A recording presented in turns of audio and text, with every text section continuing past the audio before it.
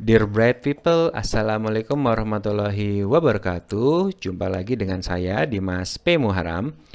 Kali ini di segmen ICT Accessibility, saya akan review satu aplikasi yang keren banget. Ini adalah sebuah social media yang penggunanya sudah cukup banyak, eksklusif, dan booming beberapa bulan lalu, khususnya di era pandemi ini. Dan spesialnya adalah aplikasi ini sangat aksesibel untuk pengguna yang tunanetra. Mengapa seperti itu? Karena yang pertama, untuk berkomunikasi antar pengguna itu hanya bisa dengan audio atau voice, tanpa ada video dan juga tanpa ada teks. Nah, sudah bisa mendebak aplikasi apa ini? Ya, aplikasi ini adalah Clubhouse. Uh, dia C L U B H O U S E ya, teman-teman.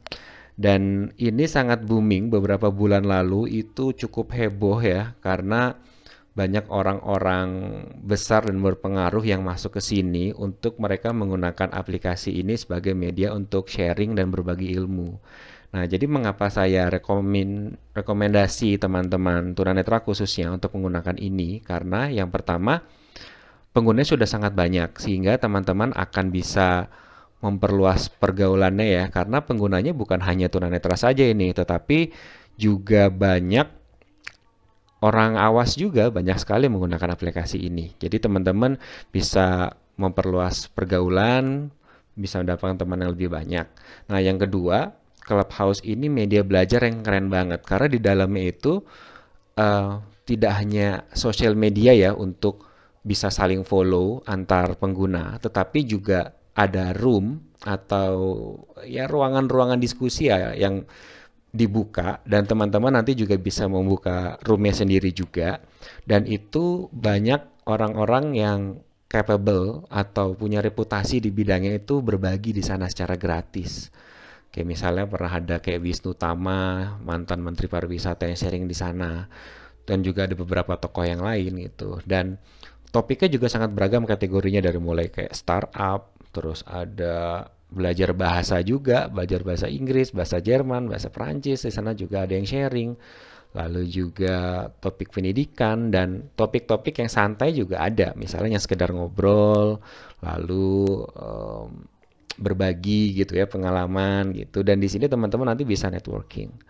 Nah, yang terakhir adalah aplikasi ini awalnya dibuat eksklusif teman-teman. Jadi sebelumnya hanya ada di uh, iOS atau teman-teman yang menggunakan iPhone atau iPad yang bisa mengakses aplikasi ini. Tetapi kira-kira uh, satu bulan yang lalu Clubhouse ini sudah bisa di-download di Play Store. Jadi teman-teman pengguna Android pun juga sudah bisa menggunakan aplikasi ini. Nah, eks, sisi eksklusif yang lainnya adalah sebetulnya aplikasi ini mereka bilang ini masih versi beta atau belum versi yang full release ya. Tetapi penggunanya sudah sangat banyak dan sudah sangat aksesibel sih menurut saya. Saya tidak ada kesulitan dalam menggunakan Clubhouse ini dalam beberapa hari belakangan ini. Saya juga baru menggunakannya jadi lagi ekspor juga fiturnya.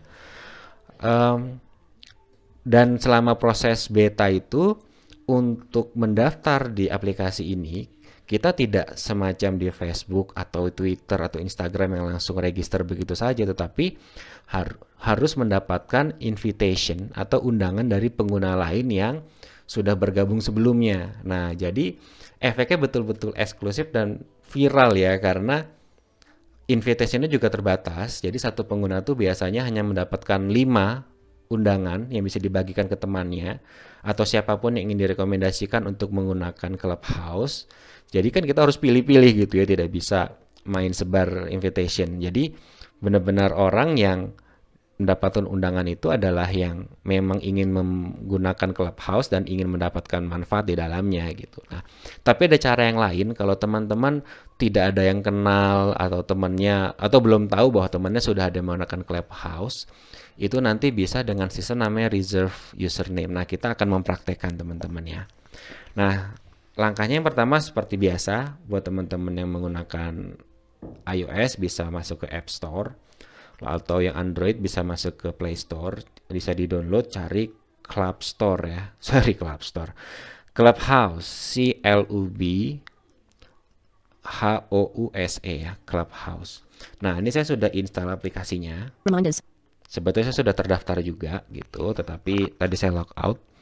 Ini saya di sini menggunakan iOS, jadi saya tidak mempraktekkan menggunakan Android, tapi saya yakin harusnya eh, sama lah aksesibilitasnya karena ini awalnya di iOS dan sangat aksesibel sekali, harusnya di Android mungkin kurang lebih sama. Nanti teman-teman bisa kasih komentar ya di kolom komentar kalau misalnya ada yang menemukan uh, berbeda atau ada kesulitan ya.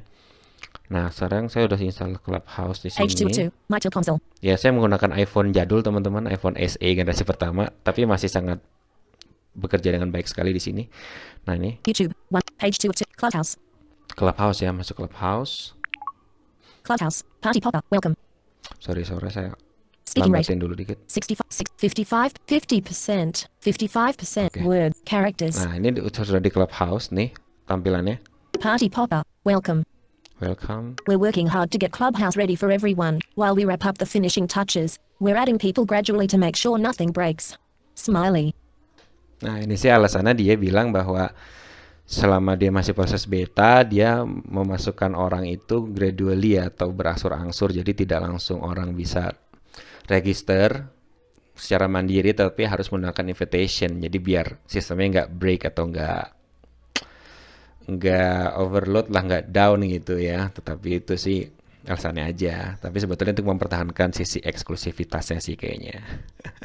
Jadi kayak model dulu kalau teman-teman mungkin generasi yang lama yang awal-awal ada Gmail, Gmail dulu juga begitu teman-teman. Jadi em, menggunakan invitation, jadi tidak bisa orang langsung create Gmail, tetapi dengan invitation eh, dari pengguna yang sebelumnya sudah tergabung gitu. Dan sekarang kita bisa lihat efeknya Gmail jadi email nomor satu ya yang dipakai sekarang ini. Lanjut, saya klik ke kanan lagi. Anyone can join with an invite from an existing user, or reserve your username and we'll text you if you have a friend on the app who can let you in. We are so grateful you're here and can't wait to have you join hands with medium skin tone pressed together. Nah, jadi setiap orang bisa bergabung tapi harus gunakan invitation. Atau kalau belum punya invitation bisa reserve username. Jadi maksudnya reserve username ini di sini adalah mengamankan username kita. Jadi kita daftar dulu sementara. Nah, nanti nunggu kalau misalnya ada ternyata teman kita yang sudah tergabung di Clubhouse dan nanti dia akan kayak semacam memberikan rekomendasi lah atau invitation ke Clubhouse bahwa oke orang ini eh, saya kasih invitation buat bisa aktivasi akunnya gitu. Nah, saya kemarin begitu teman-teman. Jadi saya nggak tahu kan ya teman saya siapa yang sudah terdaftar. Jadi saya langsung aja daftar sendiri eh, dengan di sini saya klik kanan. House with yard. Paul, get your Nah, username. get button. ada get your username, Have an invite text. ada have Sign in an- right arrow. Nah, have button. an invite text. Jadi kalau udah punya invitation bisa sign in di sini. Tapi kalau belum ada di sini aja nih. Get your username. Nah, button. get your username ya. Jadi get your username. Ah, jadi kemarin setelah saya daftar, get your username itu mungkin dia terhubung dengan karena gini, ketika pendaftaran itu menggunakan nomor HP teman-teman. Nah, seperti saya klik masuk ya. Te- enter your phone hash symbol. Nah, enter your phone. Jadi masukin nanti nomor HP-nya teman-teman. Nomor HP yang valid pastinya, yang bisa nanti dikirimin SMS. Karena nanti setelah teman-teman daftar nomor HP-nya di sini, nanti itu dia akan kirim ada pesan em, untuk ini ya, yang mengabarkan kalau misalnya teman-teman sudah dapat invitation. Jadi ini nanti kirim SMS dan juga akan ada verifikasi di situ. Jadi pastikan nomor HP teman-teman sudah terdaftar. Nah, ini saya tadi saya masukkan di sini. Text field. Flag button. Plus 62. Button. By entering your number. Terms of serve. Next. Nah, ini nanti diklik next. Saya nggak lanjutin lagi karena sudah saya sudah terdaftar. Jadi nanti klik next, nanti dia akan ada kode verifikasi yang teman-teman harus masukkan kodenya. Nah, nanti setelah proses itu, nanti teman-teman harus menunggu. Ya nanti kalau misalnya eh, saya nggak tahu juga teman saya waktu itu bagaimana ya. Jadi memberikan rekomendasi atau invitation itu yang jelas saya nggak tahu setelah saya daftar kira-kira beberapa jam kemudian tuh ada SMS dari Clubhouse bahwa akun tertentu teman saya itu yang saya kenal, saya tahu saya kenal orangnya itu memberikan invitationnya kepada saya gitu. Jadi mungkin ya kalau teman-teman get user di sini nanti untuk pengguna-pengguna lain yang ber- menyimpan nomor HP teman-teman mungkin gitu ya atau emailnya teman-teman atau saya nggak tahu bagaimana sistemnya itu nanti dia dapat notifikasi dan menanyakan apakah ingin memberikan invitation atau enggak gitu. Mungkin kalau teman-teman ada yang punya pengalaman memberikan invitation via get user begini bisa sharing juga di kolom uh, komentar ya.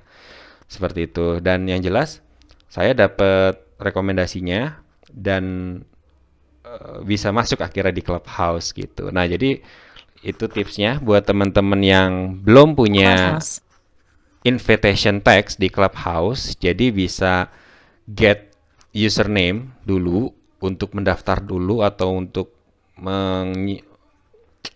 mereserve lah ya untuk memastikan bahwa username teman-teman tuh nanti nggak diambil orang lain dan nanti bisa tunggu kalau misalnya ada yang memberikan invitationnya ke teman-teman. Atau sembari menunggu itu kalau nanti teman-teman ada kenal, oh kalau udah punya host clubhouse ya misalnya, lalu mau dikasih invitationnya, nanti teman-teman cukup kasih nomor HP yang teman-teman sudah daftarkan tadi untuk nanti dia kasih invitationnya, dan nanti otomatis itu berarti statusnya teman-teman dapat invitation dan nanti sudah bisa untuk aktivasi akunnya.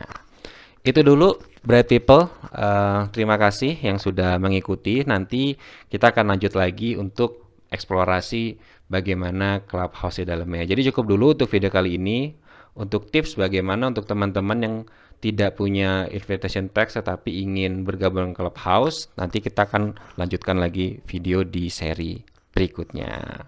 Terima kasih, saya Dimas P. Muharam, undur diri. Jangan lupa klik subscribe buat yang belum, klik like dan share ya ke sebanyak mungkin temanmu. Sampai ketemu lagi and see ya.